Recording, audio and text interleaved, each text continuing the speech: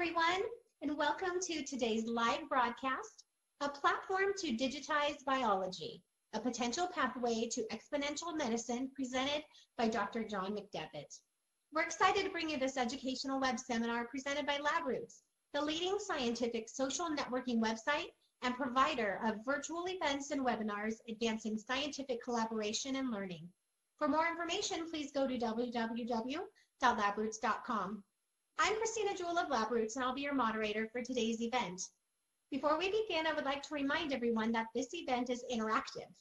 We encourage you to participate by submitting as many questions as you want at any time you want during the presentation. Just click on the green Q&A button located at the lower left of the presentation window and type your question into the box that appears on the screen. We'll answer as many questions as we have time for at the end of the presentation. Also, please notice that you'll be viewing the presentation in the slide window. To enlarge the window, just click on the screen icon located in the lower right. If you have trouble seeing or hearing the presentation, please click on the support button at the top right of the presentation window. Or you can use the Q&A button to let us know you're having a problem. This is an educational webinar and thus offers free continuing education credits. After the webinar is over, please click on the CE button located at the bottom left-hand corner of your web page and follow the process of obtaining your credits. I would now like to introduce Dr. John McDevitt. Dr. McDevitt is a pioneer in the development of the program programmable bio nanochip, PBNC sensor systems. These chip-based sensors have laid the foundation for the efficient collection of first-in-kind wellness and disease signatures for the areas of adjunctive oral cancer tests, as well as for cardiac wellness profiles. McDevitt has displayed a strong track record of translating essential bioscience discoveries into real-world clinical practice. He serves as a scientific founder and chief scientific officer for SensoDx, a, diagnos a diagnostic company committed to the development of affordable medical microdevice technologies. Dr. McDevitt currently serves as the chair for the Biomaterials Department at New York University's College of Dentistry. McDevitt and his team have written more than 200 peer-reviewed scientific manuscripts and have contributed to more than 100 patents and patent applications. In addition to the 2016 AACC Wallace H. Coulter Lectureship Award, this work was recognized with the Best of What's New Award in the medical device category by Popular Science, as well as for the Best Scientific Advances Award by the Science Coalition. Please join me in welcoming Dr. John McDevitt. I will now turn the presentation over to him. Dr. McDevitt? Christy, thank you so much for that kind introduction. Good afternoon, everyone. Pleasure to have an opportunity to speak with you today.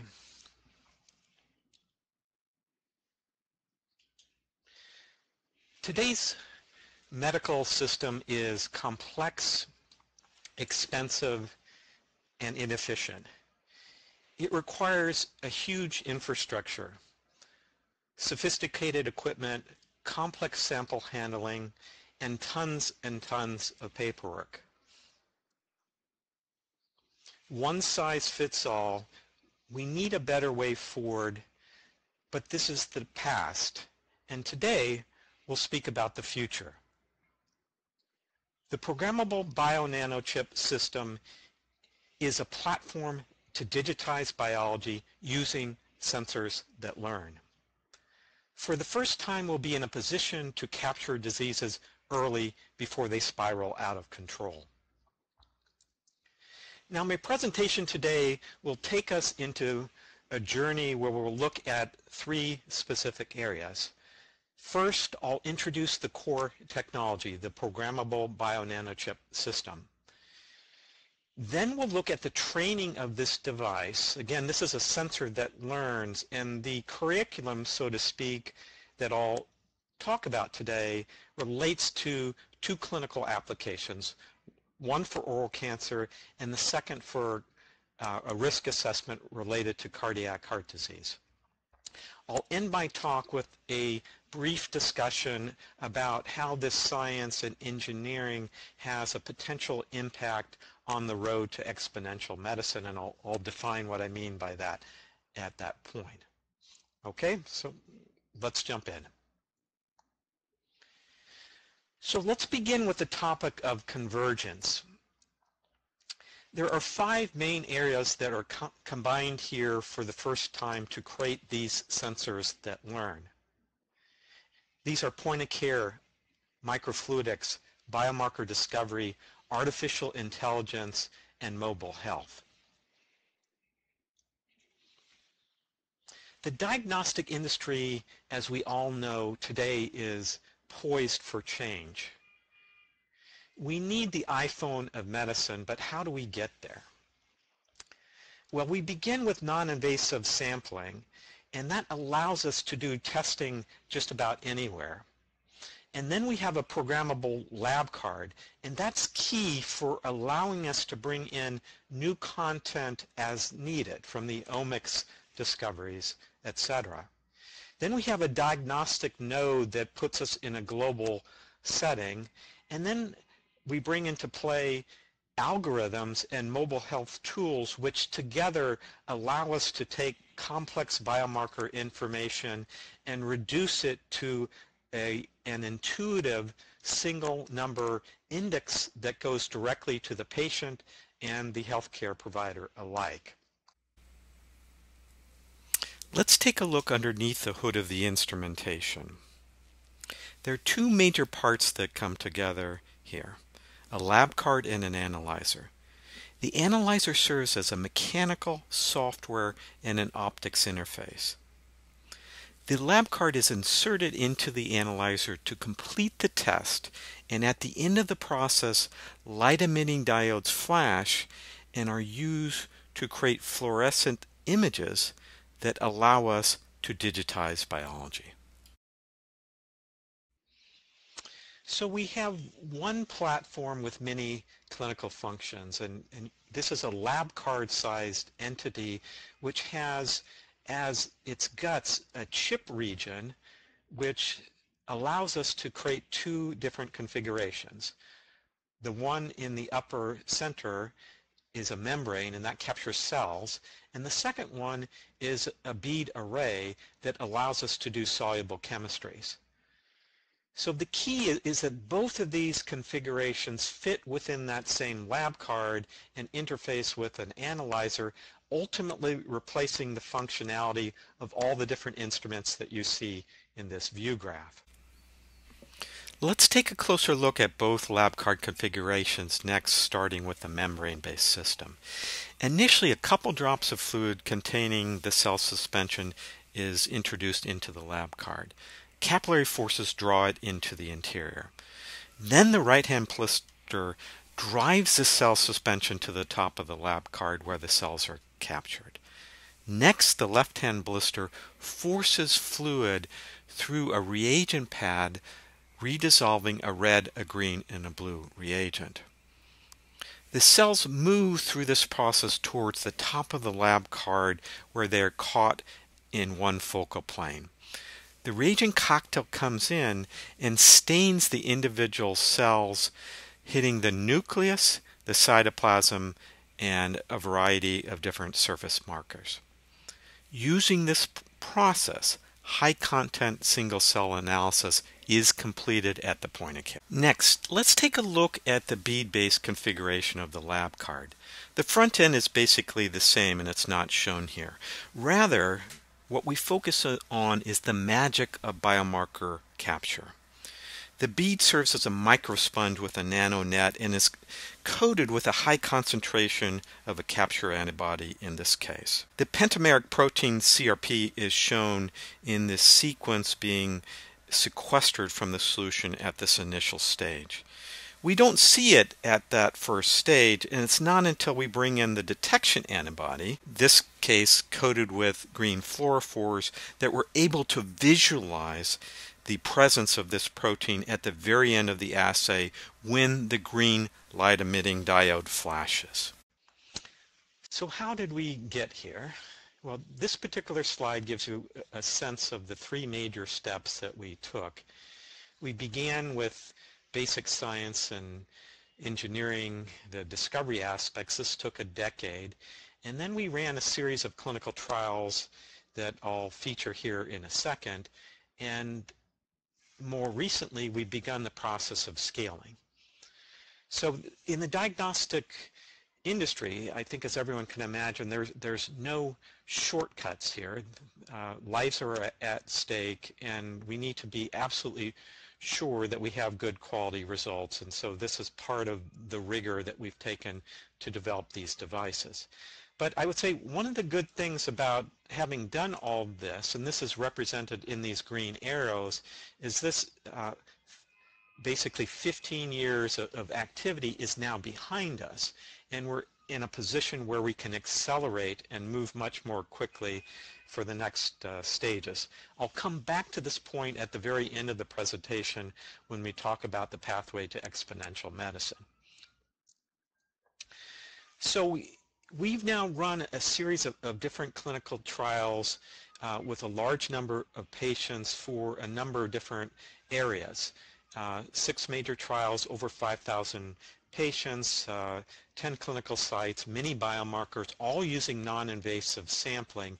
And the purpose of this is to identify the appropriate uh, patient populations and bring in new content and new fingerprints that can capture diseases earlier on uh, than what has been done in the past. And, and, that'll be a main theme of my talk today.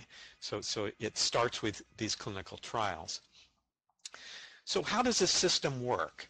Well, it, it's much like a glucometer in that we have no pipetting step. We simply put a drop of a bodily fluid on a target zone and then everything else happens within the lab card and within the associated instrument.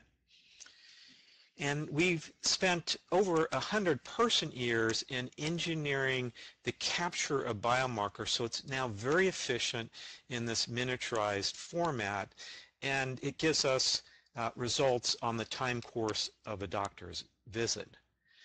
Uh, more importantly, we're able to secure lab quality results at the point of care. So miniaturization doesn't cost us in terms of performance. Now, throughout my talk, uh, I, I will make reference to a, a couple peer-reviewed publications, and at the very end, I'll send a, a, link out to to all of our publications. But the, the first one deals with the core technology and is published in Lab on a Chip. So let's switch gears here a little bit now and, and, move into the second area about the clinical training of this sensor that learns. And I want to focus your attention not on the plurality of, of, chips, but more specifically to the oral cancer applications that's at the lower right-hand corner of this particular slide. The yellow chip, the oral cancer one, is where we'll go to next. Now, oral cancer is one of the most expensive of all the cancers to treat, and it also has one of the worst outcomes. And unfortunately for people getting oral cancer, uh, the outcomes have not increased much over the last five decades. Now the good news is when the disease is caught early, the outcomes are actually quite good. But we don't have an effective means to bring in and screen or we don't have an effective adjunct test now to capture the disease early. So we needed to innovate and we needed to put together a new type of study that has never been done previously in order to gather enough information so that we could look across all the different diagnostic categories. So with funding coming from a special program from the NIH, a grand opportunity program, we were able to create of one-of-a-kind trial that has the structure that I show you here. I won't go into the minutia, but rather focus on the key aspect here of getting over a thousand patients. And in doing so, this gave us the granularity to spread across all the different diagnostic categories, which is key for, for our next steps. So this brought us into the area of big data, and we were able to create one of the largest, if not the largest, database of cell-based uh, measurements ever created for potentially malignant oral lesions. So with these 1,000 patients, about 2,000 cells per patient, uh, we individually analyzed these cells, 13 million of them with over 150 image-based parameters to create this huge database. And this allowed us to do data warehousing, data mining, and ultimately the predictive modeling that I'll feature in a second. So let me just put this uh, task into perspective and uh, give you a sense of, of what we needed to do in this particular trial. Now, if the task was to distinguish between normal or benign and malignant, uh, that would be very simple. And uh, in fact, if you look at the bottom of this view graph, you'll see the level of disagreement between the gold standard pathologists. So we had a number, uh, four different pathologists across our, our trial, and the level of disagreement is shown there. And one thing that's striking about this is in the middle, in the dysplasia region, region in the precancer, we see very significant disagreement. So let me focus your attention to panel B where there are a, a, number of numbers here and there are seven different diagnostic categories that are mapped out moving from normal to benign to three flavors of dysplasia, or cancer in situ, and ultimately malignancy. Now, these different areas I'll come back to, and those numbers, in particular, what I want to focus your attention on is the 2-3 split. Uh, that's the benign mild split, and that's really where we want to capture these patients early on in the disease evolution process where the out outcomes for these patients are quite good. So with this gold standard, the pathologist and the um, H&E stain of a scalpel biopsy as being the means to make this diagnosis, we have a problem. The individual pathologist is what a patient would normally have access to, but we found that there was disagreement and we are training a new device and we wanted to have a higher level of certainty of where these patients were. So in this trial, we needed to innovate, and the innovation came with respect to how we adjudicated these samples, how we defined the truth. And it's been known for some time that if you crowdsource decisions, you actually make much better decision than if you rely on one individual. And al although we were relying on the best pathologist in the world to make our diagnostic calls, that was not good enough we needed to develop something even better than that. And so what we created was an enhanced gold standard. And I won't go into the gory detail of this today, but rather to mention that there are four levels of adjudication. I'll give you a link to the paper so you can look into this more deeply in a, in a, um, after this presentation. But the key theme for this talk is that we started with a 69% agreement at the individual pathologist level, and after these four levels of judging, we went up to 100% agreement. So that's our starting point now in developing these diagnostic models. And again, this is published in Quad, Quad O uh, uh, last year, and that will serve as the basis for uh, the training of our algorithms. Now with this adjudication process in hand, we're, we're now in a capacity to, to take the next step.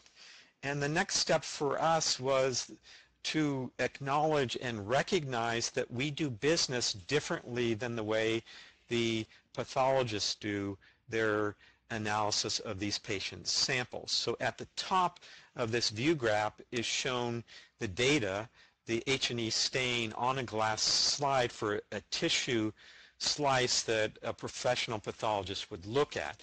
And you see benign and malignant, and a trained pathologist can eat this up and, and go and make this diagnosis. And again, this is the easy diagnosis, the, the two extremes. So with our chip, we needed to learn to speak a new language, and you see the, the vocabulary, if you like, at, at the bottom of this view graph, the individual cells that are stained with these three colors that were shown in, in that movie. And you see a benign patient uh, in the center, and then with more colorful display, the malignant patient uh, at the lower right. So one of the things that, that, that, we then did, we had this big data uh, with these 13 mi million cells profiled with these 150 imaging parameters, and we had to ask ourselves, how do we make sense of this? So we used machine learning at the individual metric level first to see what was most important. And this is a multi-dimensional space which is unbelievably complex, so I'm giving you just a, a little slice of, of the data. But this particular heat map gives you some key insights for where the information is being derived from. And we had some surprises here and some, some new biology that we uncovered with all this data. So at the, at the top of this view graph, let me focus your attention on the biomarkers and the different uh, diagnostic transitions. The most important one of which, again, is this 2-3 transition. And you look at the heat map, and immediately you recognize the best biomarker for making this decision, the one that's richest in information and shows up red hot is Ki67. Now that was not known in the literature previously, uh, but we got a clear indication that that's the case. We also found that nuclear cytoplasm ratio is good, but that tends to capture the disease late in the evolution. The other surprise from this is cell circularity, which wasn't a, a dominant variable, but it is in fact very hot and it, it extends into these early transitions. So that's one view of the data. The other view of the data that I want to show you, and again, this is from the single biomarker perspective, is encoded in this color, color encoded chord diagram. And you probably don't stare at these chord diagrams every day, so let me help you understand how to navigate this. On the right-hand portion of this particular view graph, if you can see my mouse here, uh, with the gray uh, chord here are the different diagnostic transitions. And again, let me focus your attention on the 2-3 because that's the one that is clinically most important. And uh, that's on the right-hand side. On the left-hand side is where the information comes from. And again, this is color encoded, uh, the lesion characteristics, the, the color, the size, whether or not there's lichen planus, that's in, encoded in, in yellow. Then we have the nuclear parameters, then the molecular biomarkers, and the uh, morphometric details in red. So looking at the width of the chord, you get some information about where does the important information come from. And immediately what should strike you for this early transition is the biomarkers are a dominant part, but it's not just biomarkers. It's biomarkers and the other things. In fact, it's all of these categories that contribute to making a better decision. So what I just showed you was a view of where the information was coming from related to the individual biomarkers but we don't have individual biomarkers. We have big computers. In fact, we have supercomputers that can chomp on all the different uh, metrics and put them together into multi-marker combinations. And so what, what uh, is pulled out now in this particular view graph is the areas underneath the receiver operator characteristic curves which in essence is a measure of the diagnostic accuracy, the sensitivity, the specificity. Uh, a number of one sweeps out perfect uh, diagnosis on both of those metrics. Now, another unique thing about this trial is that we did both model development and model validation in the same trial. We had two sets of statisticians. This was run the way the pharmaceutical industry runs clinical trials, and we separated the model development from the model validation so that we could uh, do both, both of these steps in this particular trial. So the before represents model development, the after represents the picture that we get uh, uh, after we put the stake in the sand and, and, and selected the, the models. And one of the key metrics here is, is, that the areas underneath the curve are actually quite good. They, they drop only about 4% in going from model development to model validation. The uh, average in the literature, not the best, but the average in the literature for this validation step is a loss of 23%, going from an A to a C in terms of a grade. Uh, so, so we didn't have that happen. We, uh, it didn't overfit the data. Now the other thing I, I want to mention is this 2 versus 7 comparison. If we simplify the analysis and say we're going to look at benign versus cancer uh, and only pull out the patients with those two categories, we get a diagnostic accuracy very close to 1. The area underneath the, the curve very, very close to 1. And so that's really key because it shows that it's not adequate simply to look at these two extremes. And when we look at the adjunctive tests that are on the market today, which only cover about 2% of, of the patients that you'd like to have these uh, adjuncts and screens on, uh, we just don't get the confidence, we don't get the accuracy, we don't have the granularity yet. And it goes back to the fact that, that the way these devices were trained were at these two extremes. So, so we need to look at big data. We need to look at more data channels to get this level of accuracy.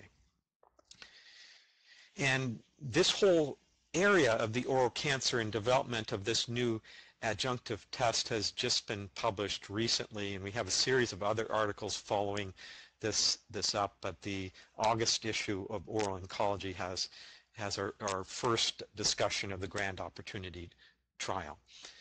Okay, so so now let me switch gears here a little bit to to the area of cardiovascular disease, and, and this is the the chip uh, again, it looks the same. It has a different color, but it has the same form factor. And what I'm doing now is I'm switching from a cell-based test, the oral cancer cell-based test, into a multiplexed protein test, which is done on a bead array. So cardiac heart disease is in many ways similar to the oral cancer application which I've just talked about in the sense that both of these uh, areas now focus on late-stage disease diagnosis. And our goal in cardiac heart disease is actually very similar. We want to develop new tools that put a flashlight on the disease and allow us to look in the dark, dark so to, to speak, and help to take this very significant disease, which is the number one killer in the United States and on a global basis and provide more effective feedback to patients and clinicians. So that was the basis for us moving into this particular area. And so we did a lot of the same things that I've just talked about. In fact, this particular trial overlapped in a time course with the uh, oral cancer program that I just uh, mentioned. This, this also was funded uh, through NIH, and it involved a, a, study where we had a prospective recruitment of chest pain patients at uh, two hospitals, Ben Taub and the uh, DeBakey VA Center in Houston.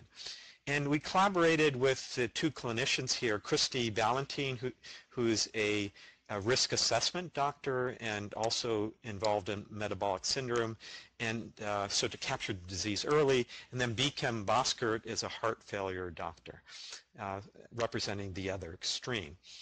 So we had four time points, uh, two bodily fluids, and 15 biomarkers. And this is really, really key is, is having the uh, granularity with respect to time now and also with respect to biomarkers that uh, makes this, uh, this uh, effort unique.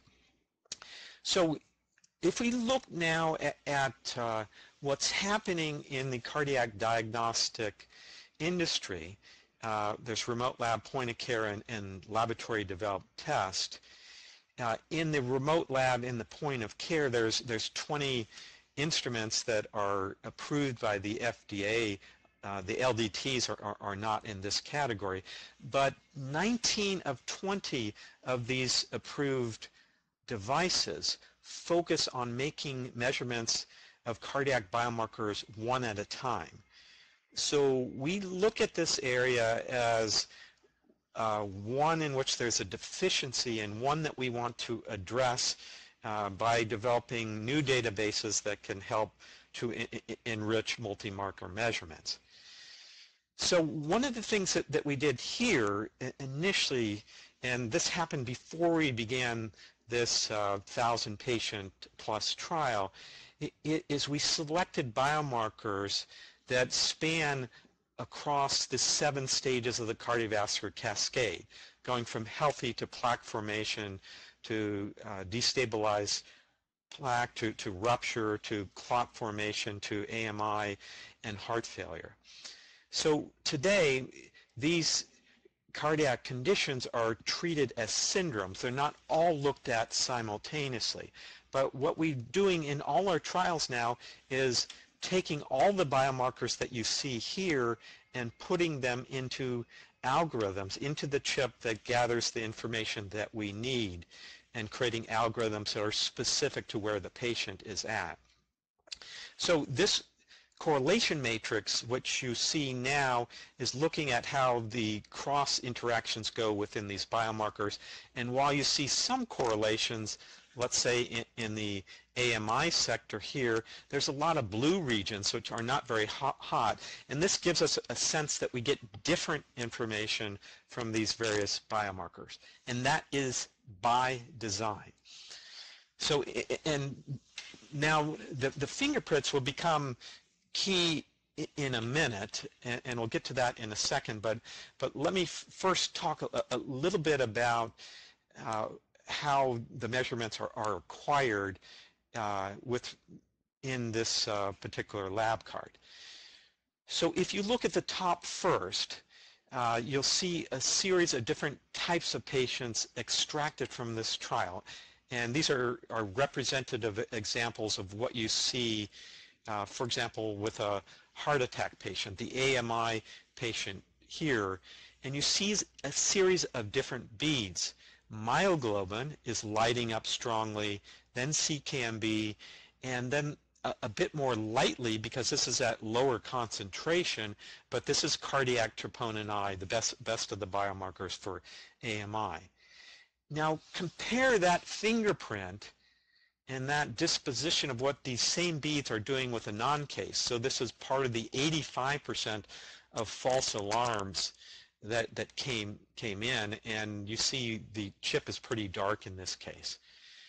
Now we had a lot of congestive heart failure patients too coming to the emergency room with chest pains, but uh, in fact 24% versus 15% for the AMI. But we would be able to diagnose them with a different signature. NT-proBNP and myoglobin are strongly lit up. And then we had a decent number of renal failure patients and cardiorenal syndrome patients, and they light up with yet another part of the chip involving D-dimer and a huge signal for cystatin C.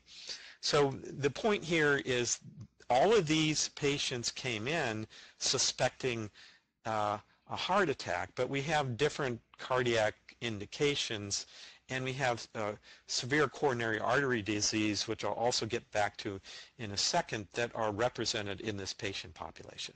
So the other thing I want to mention, in addition to the fingerprint as to what type of patient, but also there is a, a capacity to pull out specifically the intensity of fluorescence. So this is a simple chip of troponin I featured at the center of the chip with many duplicate beads. We don't need this many to make a typical measurement, but it shows you this dose-dependent curve.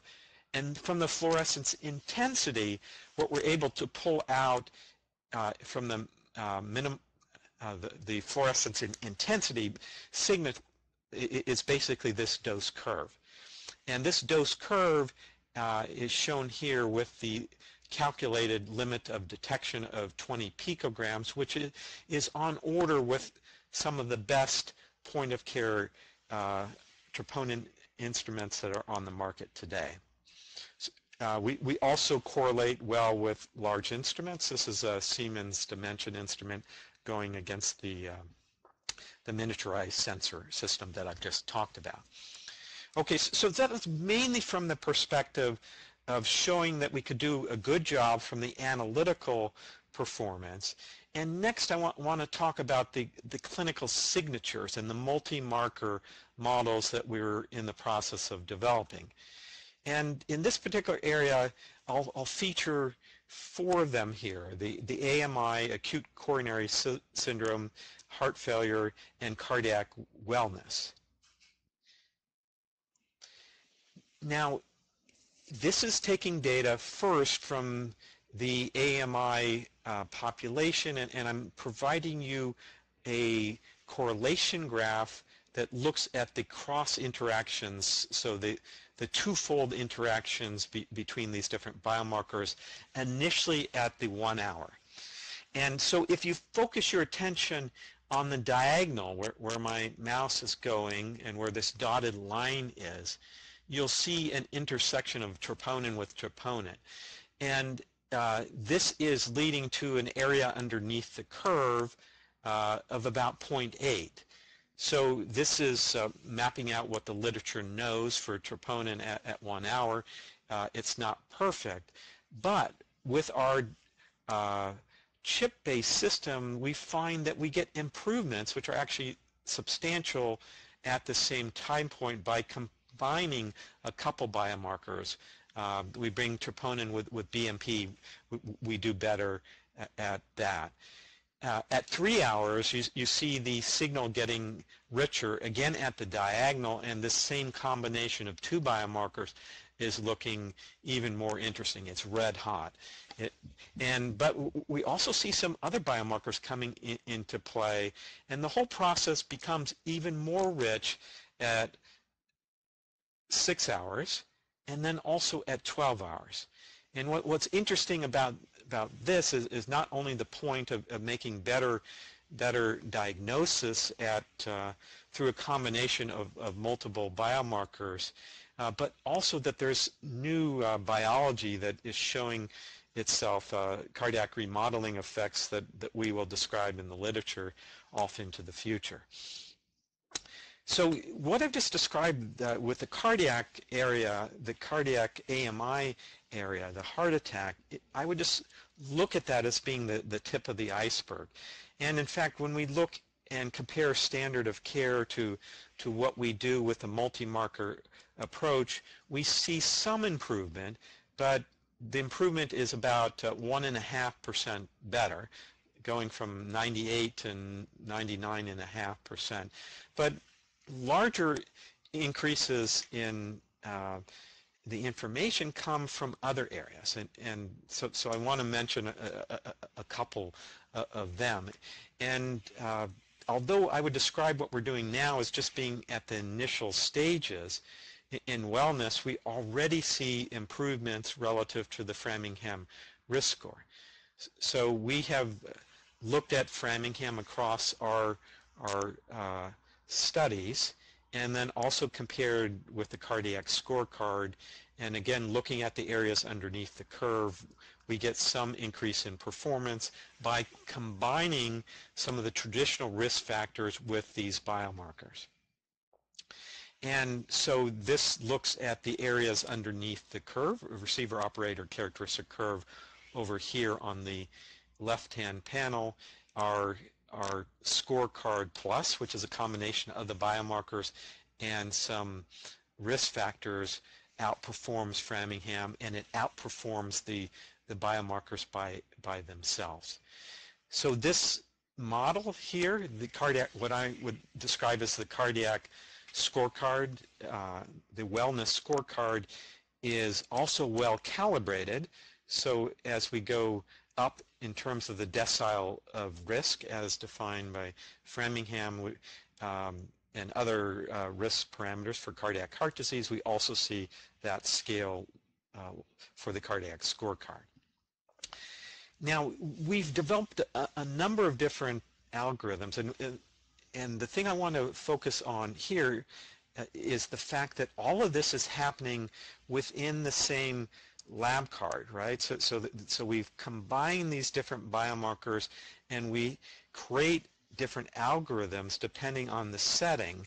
And what I'm showing you on this particular view graph is uh, the logistic regression beta coefficient, which is basically giving us information about the level of importance for the different variables and how this contributes to the four models that I've spoken to already. So if you focus your attention first on the AMI model, uh, the blue triangle here, and look at troponin at, at the bottom, the uh, beta coefficient is 3, and this is off-scale good. So I'm not going to say anything new to people familiar with cardiac diagnostics that this is an unbelievably good biomarker, but it's borne out in the methodologies that we've chosen here to do this lasso uh, logistic regression uh, technique that, that penalizes each subsequent variable and we don't touch the data. Uh, it's a conservative way to, to do this, but it gives us a good sense of, of the fact that we can pull in additional information, a little bit from BNP and then IL-1 beta. Um, and then when we look at ACS, so a ACS being AMI and unstable angina, that diagnostic challenge is actually harder. Uh, troponin does less well. Uh, we have more of a, of a reliance on BNP and the diabetes status uh, also plays a role. Then heart failure, uh, no surprise here, BNP is the dominant variable. Troponin contributes to that, but BN, BNP is also part of that as well as age.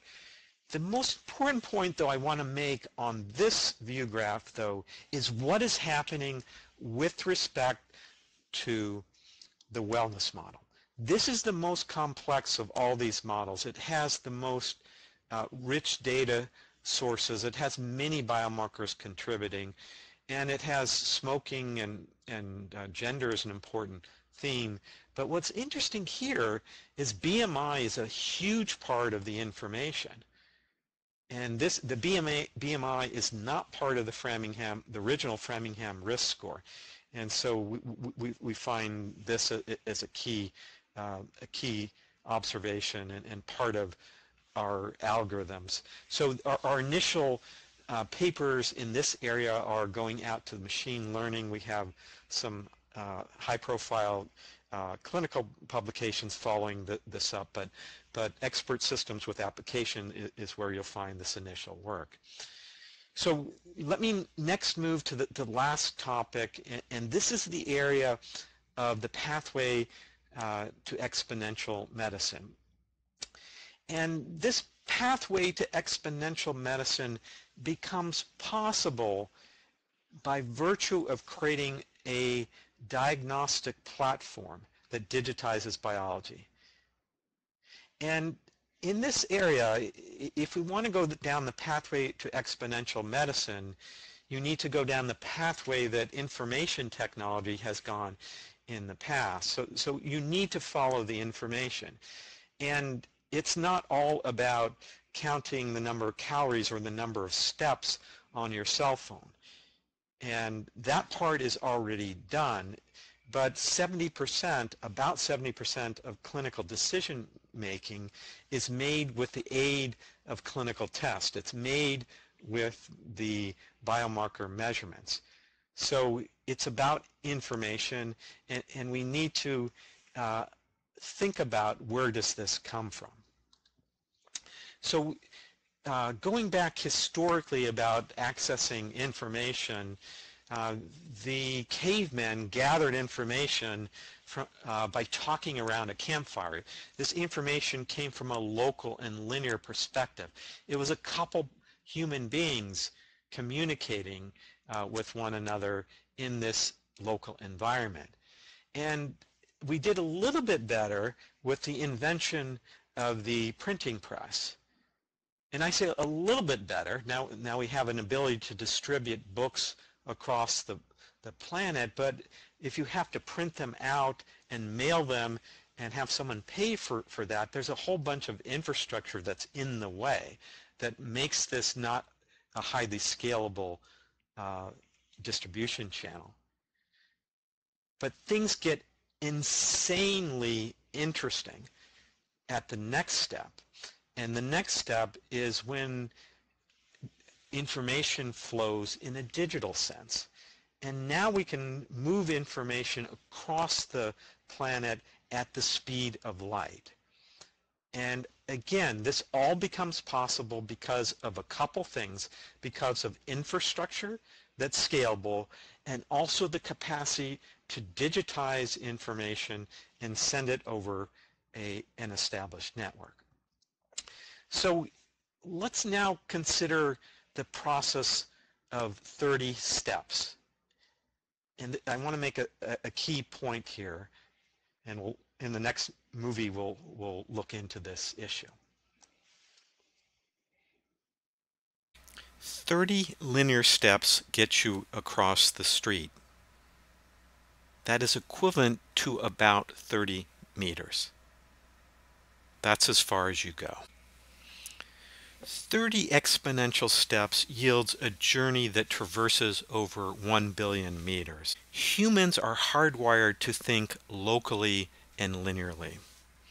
It's difficult for us to even imagine what the impact of an exponential technology could be. Each trip around our planet is about 40 million meters. Thus, our exponential journey provides us with the capacity to complete 26 and a half round trips across the globe. So this all becomes possible when we digitize biology. And so in the last year, we, we begin to, begun to think about what does this mean? What does this mean to us? And, and we have one diagnostic node that we know we can look at and make measurements for a thousand patients. So we can begin with a billion, to, to think about treating a billion people with a million devices. Now a million sounds like a big number until you consider today on our planet we have over 7 billion mobile phones. And so these, uh, these uh, tools are, are, are moving in a highly scalable way into all corners of our planet. So so the diagnostics now, uh, we have to consider the, the pathway to scalability here. And this is, uh, I would say, at the beginning of the exponential curve. And, and, at the beginning of the exponential curve, that curve looks linearly. But, but we are on that trajectory now. And I'm showing you David versus Goliath here. So, so our programmable BioNano chip, the blue device juxtaposed uh, to a commercial clinical analyzer. And as we stand today, we occupy about 1% of the volume of this mature device. And that blue box cost about 5 to 10% of the larger scale analyzer. So we, we are now in the process of thinking about and building scalable devices and moving this technology into a number of different settings.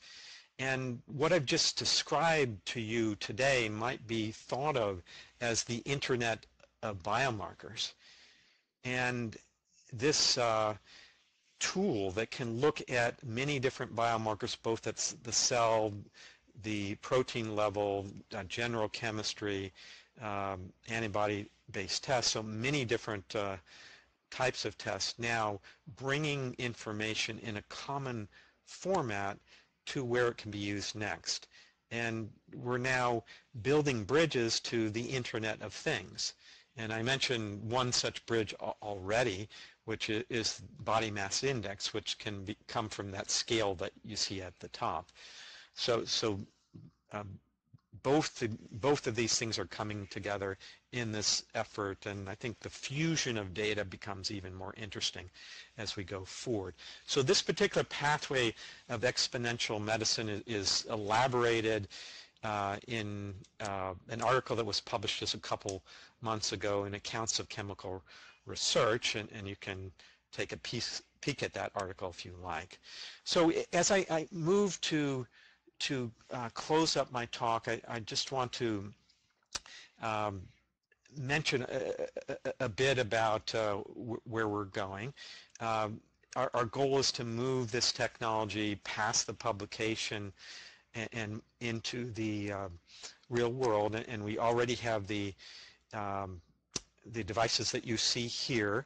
Uh, these are now in uh, the bioscience research sector um, we've launched a, a, new company called SensoDx, and SensoDx is uh, moving this uh, through um, a, number of different uh, processes. So, so as I now summarize uh, my talk and, and, and, and, closing up here, uh, before we move on to the questions, I, I want to leave you with the, the, the, the, big message here that, that we've developed a platform to digitize biology.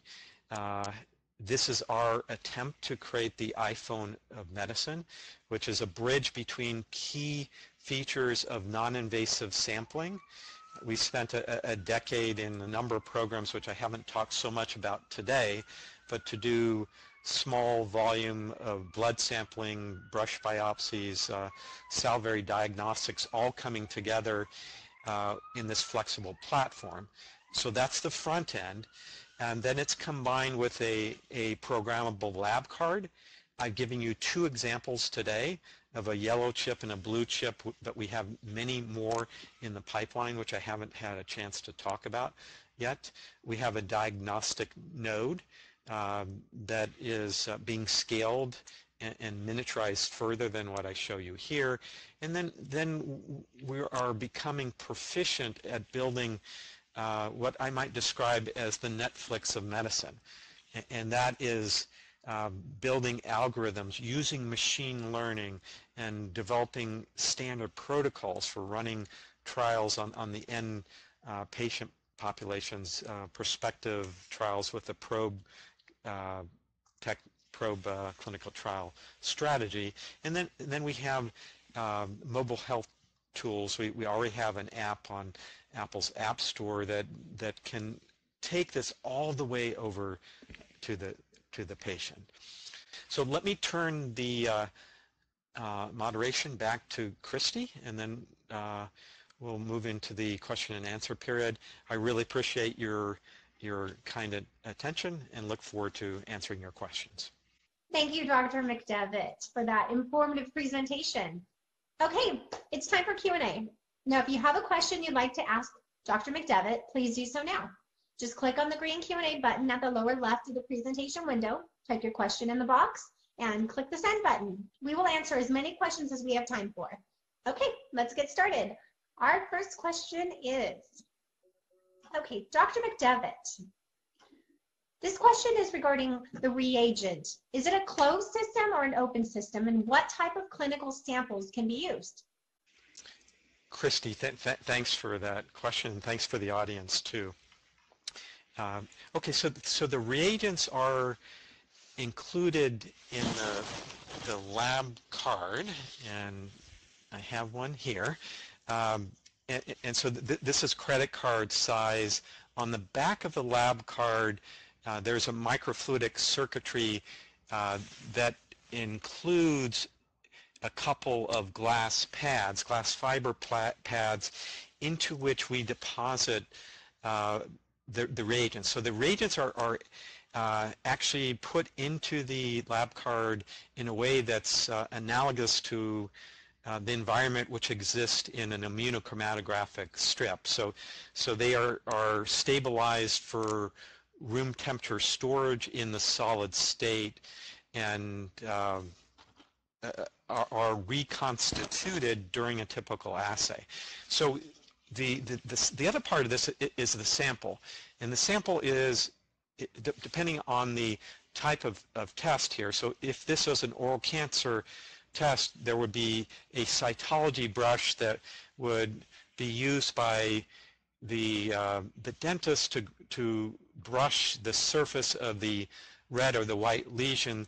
That would be then transitioned into a little test tube uh, that creates a cell suspension uh, with stabilizer and then a little pipette bulb takes that cell suspension and puts it into this region of the, the uh, lab card. That's then sealed and, and then uh, that goes into the analyzer. Okay, so, so that's, um, so, so, we have a couple types of samples. Uh, a cell suspension uh, for the oral cancer test. For the cardiac test, we can use serum, uh, we can use serum saliva or an oral fluid sample. We, have run a, a, large trial on both of these fluids. Uh, we can use plasma. Dr. McDevitt, what is the cost of this instrument and is this instrument available worldwide?